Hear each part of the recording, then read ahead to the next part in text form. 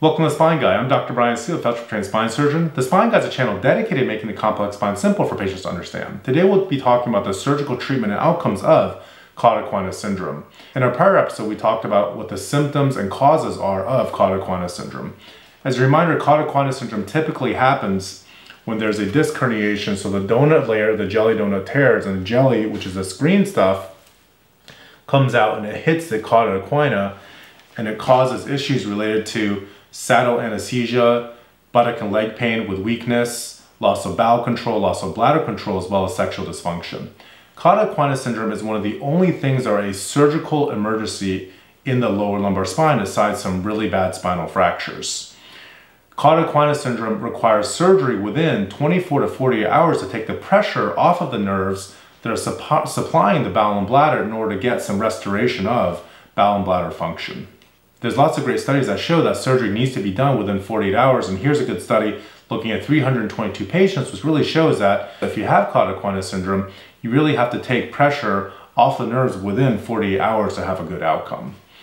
There's really only one surgery for cauda equina syndrome, and that's a decompression or a partial laminectomy to take pressure off of the sac that the cauda equina is in, and also doing a discectomy, which is taking that large piece of disc off of the nerve.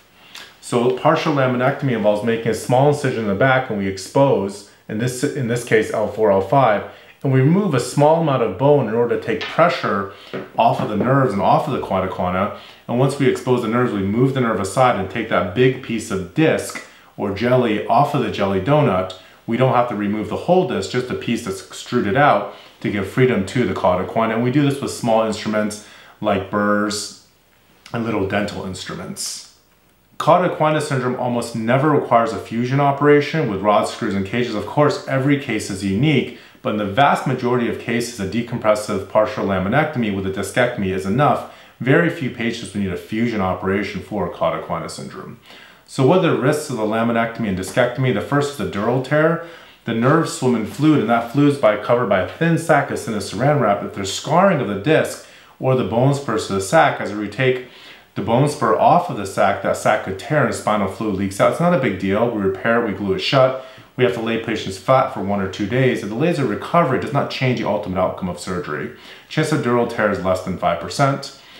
Another risk is the risk of nerve injury. So we're working around the nerves and there can be injury to the nerves that can lead to increased pain, weakness, etc.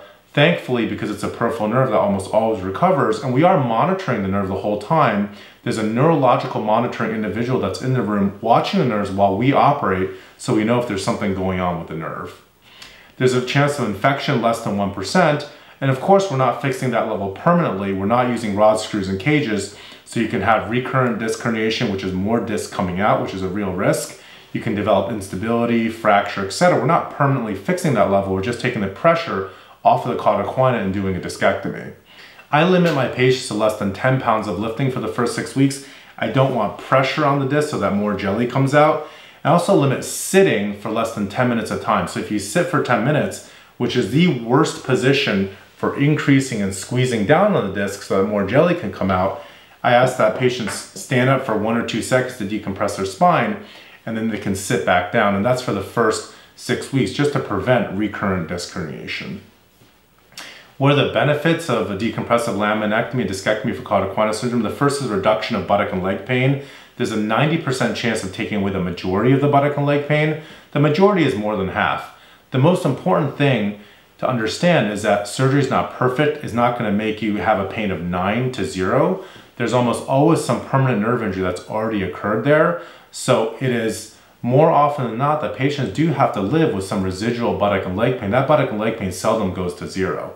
If we can take away the majority or more than half, to me that's a win. So if we can take somebody from a pain score of 8 to a 3, you may still have some leg pain that's bothersome, but your quality of life is going to be much better and a leg pain of 3 may not be interfering with quality of life.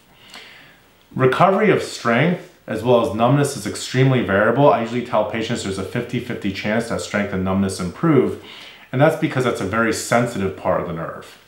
Now, the biggest outcome that you're looking for is improvement in bladder function as well as bowel function and sexual function.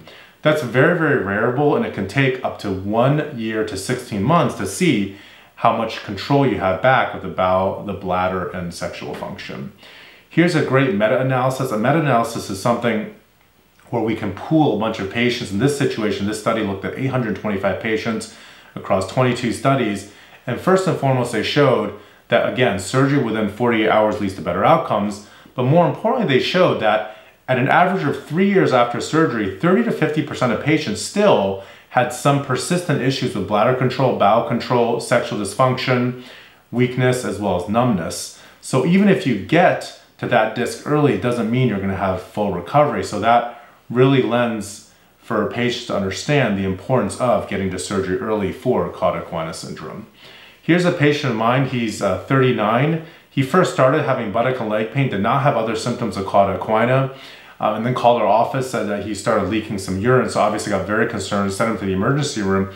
We get this MRI, and you can see there's a massive disc herniation L5S1 here, the donut layer tore, the jelly spit out. It's occupying his entire canal, you can't even see the nerves. So we took him to surgery uh, immediately the next morning, and here you'll see the disc that was uh, pushing on his nerve. Thanks for watching. Hopefully you learned something about cauda equina syndrome, the surgical treatment as well as the outcomes. If you do have symptoms of cauda equina syndrome, get immediately in front of a spine surgeon.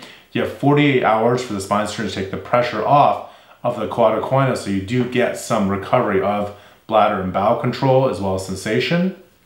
Don't forget to click the like and subscribe button and thanks for watching.